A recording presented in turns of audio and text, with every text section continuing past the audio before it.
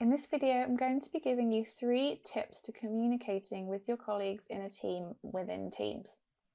So here you can see I am in the general post section for Sam's team.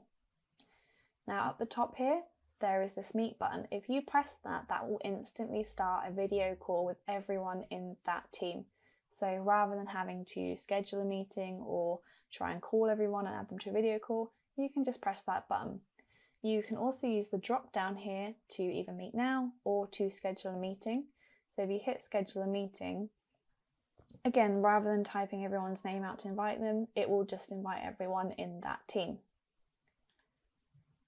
Okay, next up is tagging your team in a post. So if you're in the post section on your team and you're writing out a new conversation topic, if you don't tag someone, it's not easy for them to know that you've posted. Okay, so all it does if you don't tag them is it will just bold the team on the left hand side where your teams are.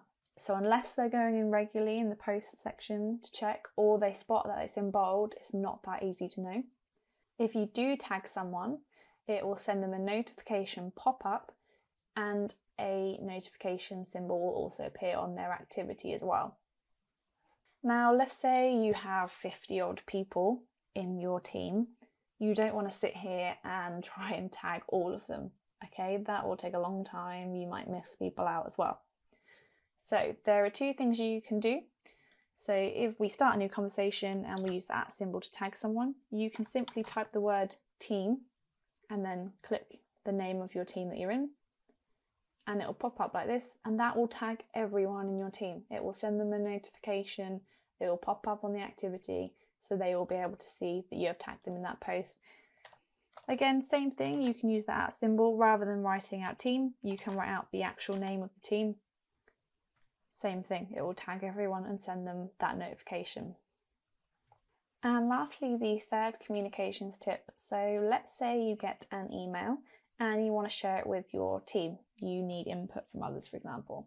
So I'll head over to my Outlook and you can see I've got an email here about meeting and I want my whole team to be involved. So rather than forwarding it to them in Outlook where people might not hit reply all, there'll be loads of different emails firing in at you, you know, it happens. There's a button at the top here that says share to teams. If you also open up the email, the button is also up there too. So if I click on share to teams, this little pop-up appears and you can type the name of a group or person or channel that you want to share it to. It does also suggest recent locations, so Sam's Team General. You can see a little preview of the email and if you do have attachments on that email you can include those as well to be sent but then you just press share and it's on its way. So if I go back to Teams you can see here there is the email that has been sent and people can reply to it as well. So, those are three really simple, handy ways to communicate with your teams within Teams.